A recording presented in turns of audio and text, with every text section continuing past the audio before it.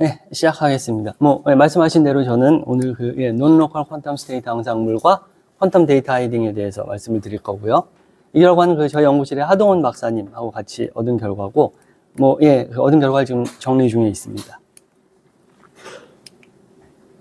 네. 어, 예, 이, 예, 목차인데요. 먼저 그 양자 상태와 뭐 관측에 대해서 간단하게 말씀을 드리고, 그리고 이제 양자 상태를 구별할 수 있는 여러 전략 중에서 좀 대표적인 전략인 minimum error discrimination에 대해서 이 배경을 좀 설명을 하고요. 그리고 이, 어, 이 양자 상태 구별을 하는 데 있어서, 어, 그, 예, 이 minimum error discrimination은 이제 local하게 했을 때 뭐, 어, 얻을 수 있는 제일 좋은 것에 대한 bound를 조금 얘기를 하겠습니다. 그 bound를 이용을 해가지고 quantum data hiding에 그 데이터가 얼만큼 그, 어, 잘 최어가 되는지, hide가 되는지의 그 analysis를 하려고 합니다. 그리고 나서 이제 그 data hiding scheme에 대해서 구체적으로 말씀을 드릴 텐데, 이제 그 예, multifold 앙상블이라는 거를 간단하게 설명을 하고 이걸 이용을 해가지고 data hiding이 얼만큼 잘 되는지를 설명을 하고 예, 시간이 있으면 example을 보고 그리고 마무리를 하겠습니다. 예, 뭐 양자 상태라는 얘기가 계속 나왔는데 뭐 양자 상태는 일반적으로 아이고 예, Hilbert space에 act하는 operator입니다. 좀 특별한 operator인데 이 positive, semi definite operator고 trace가 1인 operator들을 다 양자 상태라고 합니다. 뭐 거꾸로 이미 양자 상태는 이렇게 기술을 할 수 있고요. 네, 우리가 지금 그 이, 그러니까 이원 양자계, bipartite quantum state를 얘기를 할 거기 때문에 이 composite vector space에 act하는 operator들을 생각을 하겠습니다. 이 measurement라는 것은 이제 측정을 얘기를 하는데 그러니까 양자 상태의 성질들은 결국은 이런 그 역시 또 positive operator들의 set 으로서 이제 측정을 할 수 있다는 것이고요. 이 completeness가 있습니다. positive operator들의 set을 measurement라고 하는데 특히 completeness가 있는 다 더해가지고 identity가 되는 예, 양자 상태 구별이라는 건 뭐 간단히 이렇습니다. 뭐 이제 몇 개의 그 양자 상태들의 셋이 있고 이 중에 하나가 적당한 확률로 준비가 된다라는 상황을 생각을 했을 때 상태 구별이라는 거는 이 중에 과연 어떤 게 준비가 됐는지를 구분을 하는 것입니다. 그래서 이게 각각의 뭐 예를 들어서 이제 n개의 상태가 있고 예, 그 준비될 확률이 이제 i라고 했을 때 얘를 이렇게 앙상블로 표현을 해가지고 이런 표현을 쓰기도 합니다. 이렇게 주어진 앙상블에서 준비되는 상태에 대한 어, 상태 구별. 조금 더 쉽게 얘기를 하면은 주사위를 던지는데 퀀텀이 면인 주사위를 던지는 거예요. 주사위 결과가 양자 상태들로 그 주사위가 이제 확률이 있을 수 있겠죠. 그랬을 때 어떤 면이 나왔는지를 구분하는 것입니다. 근데 아까도 말씀드렸듯이 양자 상태는 이제 관측을 통해 가지고 측정을 해야 되기 때문에 결국은 어떤 상태가 준비됐는지를 알기 위해서는 우리가 이 measurement를 구성을 해서 measurement operator들을 생각을 하고 이제 우리가 여기서의 decision rule은 뭐냐? measurement operator의 각각의 뭐 예를 들어 M1이 detect가 됐다. 그러면은 준비된 상태는 로 1이구나 라고서 우리는 그냥 guessing을 하는 겁니다. 근데 이게 늘 맞, 이게 늘 뭐 맞다라고는 얘기를 못 하는 게 이제 뭐 양자역학의 약속 중에 하나가 뭐냐 하면은 로 i가 준비됐을 때 그랬을 때 이제 MJ가 detect 될 확률, 그 이 conditional probability는 그 두 operator의 내적으로 주어진다라는 것이 양자역학에서의 약속이고요. MJ 정의가 뭐예요? MJ요. 어떤 의미로 에, 네. 뭐 예를 들면 이제 양자 상태, 뭐 스핀을 생각을 했을 때 spin up이 있고 spin down이 있으면은 up으로 detect 되는 거, down으로 detect 되는 거. 혹은 뭐 광자에서 polarization 같은 게 있으면은 이게 뭐 polarization이면 vertical이냐, horizontal이냐, 뭐 이런 것들이죠. 근데 두 개가 complete 해야 되기 때문에 에, 이 completeness가 있는 것이고요. 근데 이게 유일하진 않습니다. 예를 들어서 polarization이 뭐 right circular, left circular 이런 것도 있잖아요.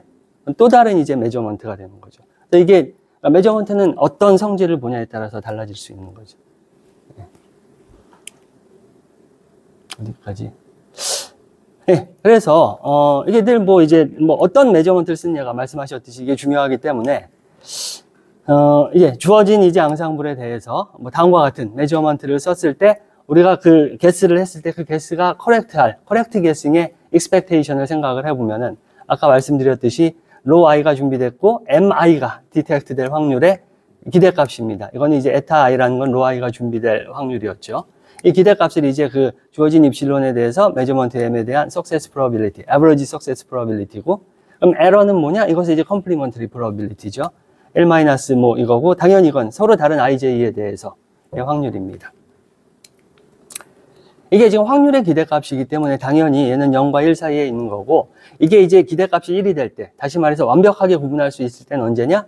주어진 상태가 다 orthogonal할 때입니다. support들이 다 겹치지 않으면은 완벽하게 구별할 수 있는 measurement가 존재한다. 그런 의미입니다. support들이 겹친다는 얘기는 예를 들어 로 1과 로 2의 support가 겹치면은 로 1에서 로 2의 성질을 얻을 수 있기 때문에 어떤 measurement를 쓰더라도 둘을 완벽하게 구별할 수 없다. 이런 의미겠죠. 그래서 어, 이 그 이 이 average success probability를 maximize하는 measurement를 찾는 거를 어, 이 maximum 값을 guessing probability라고 얘기를 하고요. 에, 이 guessing은 이제 그러니까 모든 measurement에 대한 maximum을 생각하는 겁니다. 얘를 뭐 뭐든지 생각을 할 의미의 이제 positive operator들의 set으로 completeness를 가지고 있는 그래서 이제 그 어, probability를 guessing probability라고 하고 예, 요 G는 또 어떤 의미가 있냐? 어떤 measurement든 다 사용할 수 있을 때라는 뭐 의미라서 general의 의미로 G를 쓰기도 합니다. 어, 그런데 어, 이게 잠깐만요, 제가 아 예. 그리고 그런 이제 이 maximize 하는 measurement를 찾아서 이것으로 이제 discriminate 하는 거를 minimum error discrimination이라고 합니다. 이걸 maximize 한다라는 건 반대로 얘기를 하면은 이 에러를 minimize 한다라는 의미잖아요. 그런 의미로 예, 이름을 그렇게 얘기를 하고요. 그럼 당연히 아 또 하나 이제 이제 어, 예, PG 그러니까 guessing probability는 임의의 measurement를 다 쓸 수 있었는데 우리가 지금 이원 양자계를 생각을 하기 때문에 measurement set을 조금 제한을 해가지고 어, 그러니까 local operation하고 또 classical communication을 통해 가지고 어, realize 할 수 있는 measurement들로만 어, measurement를 제한을 했을 때 또 maximum을 생각할 수 있을 것이고요. 그걸 이제 PL이라고 하겠습니다. 그러면은 이거는 어 이제 PG에 비해서는 measurement set이 제한이 됐기 때문에 예, 부등식이 이렇게 된다라는 것을 당연히 알 수 있고 이제 또 하나 우리가 알 수 있는 게 뭐냐면은 아까 지금 이 앙상블에서는 이제 각각의 이 앙상블이 뭔지 이미 알려져 있는 겁니다. 뭐가 준비될지가 확률적으로 결정이 되는 거고요. 그랬을 때 이 준비될 확률들도 다 알고 있기 때문에 그 이원 양자계 말하자면 두 사람이 이 중에서 제일 큰 확률로 우리 그냥 guess를 합시다라는 것도 LOCC로 할 수 있는 일이죠. 그래가지고 이제 그런 것들 중에 이제 maximum을 PL이라고 했기 때문에 이 그러니까 이 preparation probability의 maximum이 PL의 또 lower bound가 된다는 것도 뭐 자명하죠. 네. 어, 어, 예, 이제는 뭐 이제 좀 이 미니, local minimum error discrimination 방금 말씀드린 PL의 bound를 좀 얘기를 하려고 하는데요. 그걸 얘기하기 위해서 partial transposition이라는 얘기를 하겠습니다. 우리가 partial transposition이라는 게 뭐냐면은 우리가 지금 어떤 걸 생각하냐면은 이 composite vector space에 act하는 operator를 생각을 할 텐데요. 여기서 partial transposition은 한쪽 시스템에 대해서만 transpose를 하는 겁니다. 뭐 다시 얘기를 하면 이게 linear operator니까 matrix로 생각할 수 있을 텐데 block matrix로 생각을 해서 block-wise하게 transpose를 하는 거. 생각을 할 수 있을 텐데 그걸 이제 partial transposition이라고 합니다. 물론 어느 쪽을 하냐가 달라지긴 하겠지만 그랬을 때 우리는 그 partial transpose한 것의 eigenvalue를 생각을 하겠습니다. 이게 그러니까 이 transpose가 이제 completely positive가 아니기 때문에 partial transpose를 하면은 이제 어 positive map도 non-positive 하게 될 수도 있거든요. 그랬을 때 operator에 대해서 partial transpose를 한 게 여전히 positive인 것을 어, 어, 예, PPT positive partial transposition이라고 얘기를 하겠습니다. 그렇지 않고 어, partial transpose를 했을 때 이제 네거티브 아이겐 밸류가 생기는 오퍼레이터를 NPT 오퍼레이터라고 부를 겁니다. 물론 이제 transpose는 basis에 depend 하지만 eigenvalue invariant 하거든요. 그래서 이거는 정의가 잘 되는 개념이고요. 그 임의로 transpose 하면 원래 그 matrix하고 relation이 있습니까? block으로 막 하면 전혀 관계없는 형태의 모양 그렇죠. transpose란 거는 뭐 자, 관계라는 게 뭔지 정확하게 제가 지금 예. 이거. 그죠? 예. 그 자르었어. 네 개라, 그러니까 이게 지금 이 dimension에 대해서 block은 정해지는 거죠. 예를 들어서 이게 2고 이게 2면은 전체적으로는 4, 4x4 matrix인데 2x2. transpose를 막 하면 예. 그렇죠. 예. 그렇죠. 얘를 이용을 해가지고 오리지널 문제의 bound를 보일 수 있다는 것을 말씀드리려고 합니다. 예. 그러니까 실질적으로 원래 operator와 partial transpose된 operator의 관계를 얘기하는 게 아니고 이 partial transpose된 operator들을 이용을 해서 원래 operator와 관련된 bound를 말씀을 드리려고 하는 겁니다. 네. 그래서 그 예, 바- 바로 이제 이건데요. 아, 아까 전에 이제 어, PL이라는 게 뭐였냐면은 LOCC measurement 예, 지금 정의가 앞에 나왔지만 LOCC 메저먼트에 대한 그 success probability 기대값의 maximum이었는데 그 PL의 upper bound를 다음과 같은 이게 upper bound가 된다라는 거를 뭐 보일 수가 있습니다. 뭐냐면은 주어진 앙상블의 state들에 대해서 각각 다 partial transpose한 것의 expectation이죠. 그것의 maximum을 생각을 하면은 이게 늘, 어, 이게 이상이다라는 것을 보일 수가 있습니다. 물론 이거 역시 또 optimization 문제이기 때문에 얘가 뭔지 구체적으로 찾는 거는 쉬운 일이 아닌데, 어, 적어도 이걸 maximize 하는 operator가 어떻게, measurement가 어떻게 생겼는지, 그 또 조건, 또 equivalent condition도 찾을 수가 있고요. 어, optimization 문제이지만 이 앙상블이 그러니까 두 개밖에 없을 때 state가 두 개밖에 없을 때는 이 closed form도 존재한다라는 것을 뭐 최근에 얘기- 음, 얻은 결과이고요. 그래서 뭐, 뭐 이건 뭐 이제 에, 에, 에, 절대값 matrix입니다. 이게 Hermitian이기 때문에 사실 이게 의미가 없는데 제곱해서 이제 루트한 것들이죠. 음, 그리고 이 QG에 대한 또 upper bound, 일반적인 upper bound도 생각을 할 수 있습니다. 이 QG에 대해서는 다음과 같은 조건을 만족하는 임의의 Hermitian operator들의 trace는 QG에 또 upper bound를 준다. 이런 것도 어, 보일 수가 있고. 예, 이 QG를 이용을 해서 이제 그럼 이제 data hiding에 관한 얘기를 할 텐데요. 그, 그 얘기를 하기 위해서 이제 multifold 앙상블을 얘기를 하겠습니다.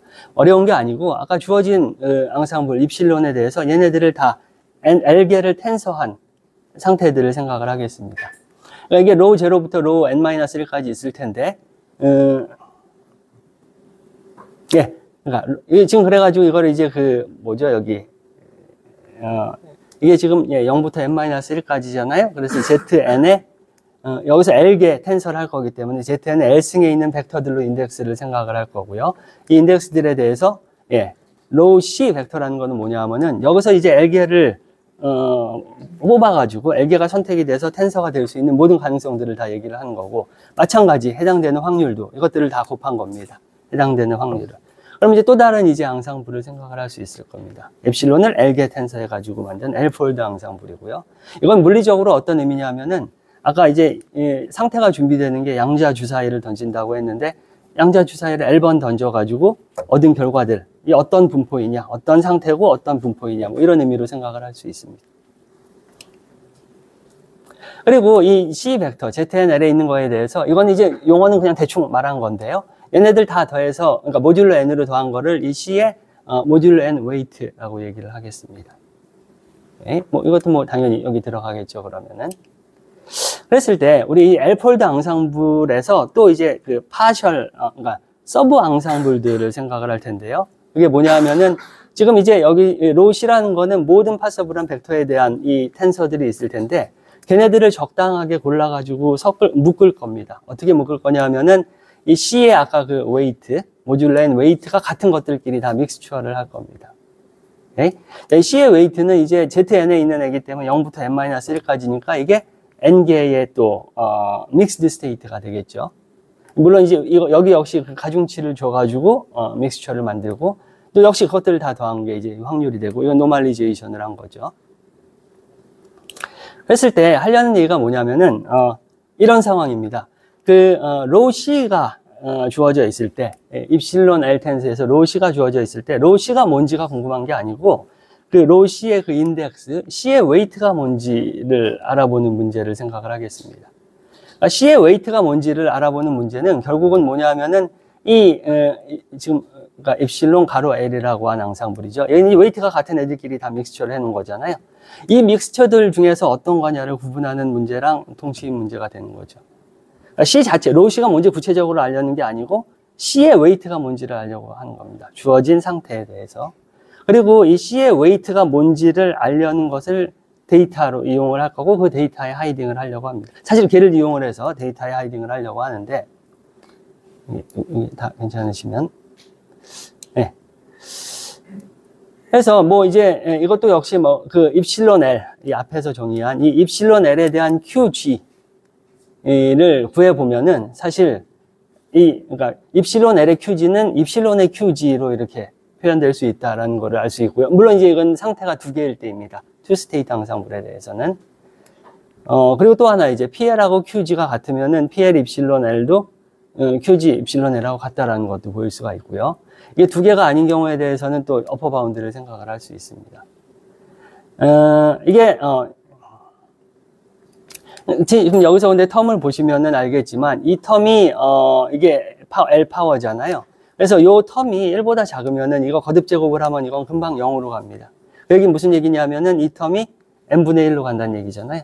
n분의 1로 간다는 얘기는 지금 이 바운드가 그러니까 QG는 언제나 PL의 upper bound고 아까 말씀드렸듯이 PL 입실론 L은 n개의 상태들이기 때문에 lower bound가 그냥 제일 큰 확률로 찍읍시다.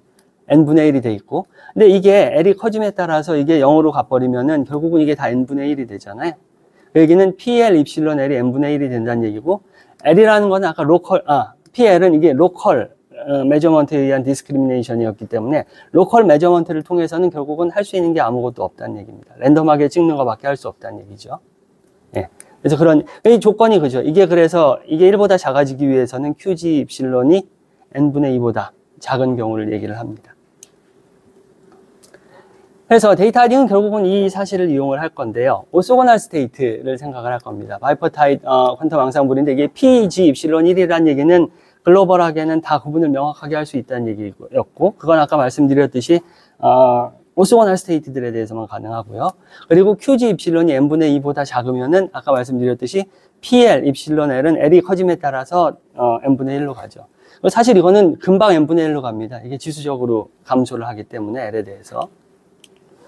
그래서 데이터 hiding을 어떤 식으로 할 거냐 다음과 같습니다. 입실론에서 이제 상태들을 준비를 해가지고 이 데이터를 share하려고 하는 두 사람에게 이제 준비 예, 예, 선택된 상태를 계속 어, 전달을 해줍니다. 이게 bipartite state니까 하나씩 전달을 해주고 그거를 이제 n 번을 하면은 l 번을 하면은 다음과 같은 상태가 준비가 되게 되는 거죠 두 사람에게. 이 상황에서 결국은 이거는 무슨 얘기냐면은 이 L-fold 입실론을 가지고 얘기를 하면은 어, 두 사람에게 rho C 벡터, 이 rho C가 지금 준비되어 있는 상태고 이 상황에서 어, C의 weight를 이 앨리스하고 밥 두 사람은 LOCC를 통해서는 거의 asymptotic하게 이제 n분의 1로밖에 모르는 거죠.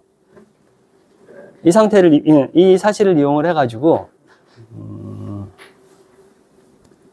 예, 이 상황에서 결국 이제 Z라는 아 X라는 데이터를 hide하고 싶으면은 이제 C의 weight를 Y라고 했을 때 X 더하기 Y 이거 modulo 물론 N으로의 더하기인데요. 그 Z를 공표를 해줍니다. 앨리스하고 바베에게 그냥 이렇게 대중적으로 알려주면은 Z가 알려져 있는 상태에서는 X하고 Y를 어 아니, X를 안다는 거는 이제 Y를 안다는 것과 동치잖아요.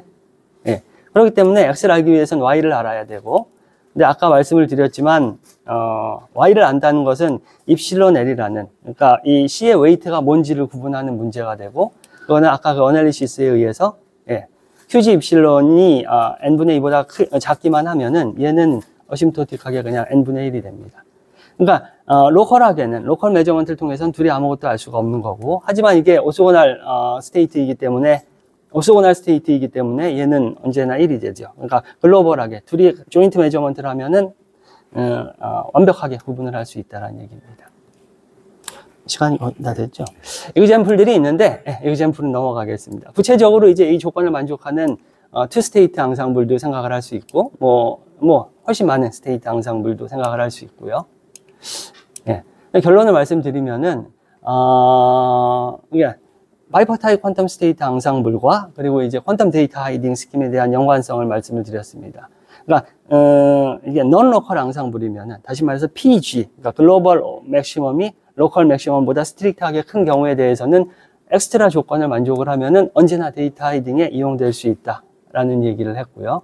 앞으로 뭐 해볼 것은 이제 어, 이게 sufficient condition이기 때문에 과연 이게 역시 또 필요 조건도 될 수 있겠느냐, 혹은 또 다른 필요 조건이 뭐가 있겠느냐라는 것들을 생각해 볼 수 있고 마지막으로는 이게 어, bipartite 시스템 two party에서의 그 데이터 hiding이었는데 사실은 뭐 multiparty에서도 데이터 hiding, secret sharing 이런 개념들은 뭐 많이 있잖아요. 뭐 n명 중에 뭐 n명 이상이 모여가지고 데이터를 뭐 어, recover 할 수 있다. 뭐 이런 그런 개념들도 가능할지에 대해서도 어, 생각해 보는 게 재밌는 문제일 거라고 생각합니다. 네, 이상이고요.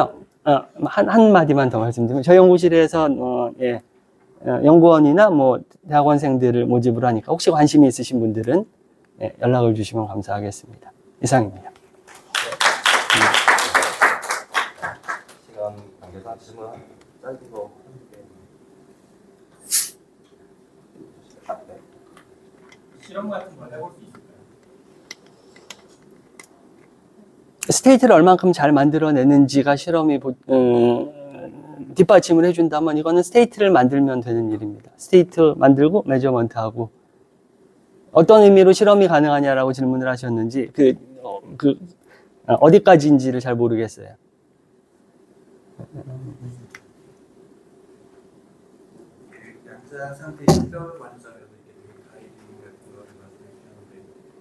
인탱글먼트의 어떤 강도나 이런 거에 따라서 그러니까 아까 이그젠플을 얘기를 못 했는데 그 이그젠플들은 양자 상태들이 다 인탱글먼트가 있는 상태들이에요. 그러니까 논로컬 인탱글먼트도 일종의 논로컬리티인데 여기서는 상태를 구별하는 데 있어서의 nonlocality를 얘기를 하는 겁니다. 근데 또 뭐가 알려져 있냐 하면은 separable state들인데도 nonlocality가 있는 앙상블들이 있어요.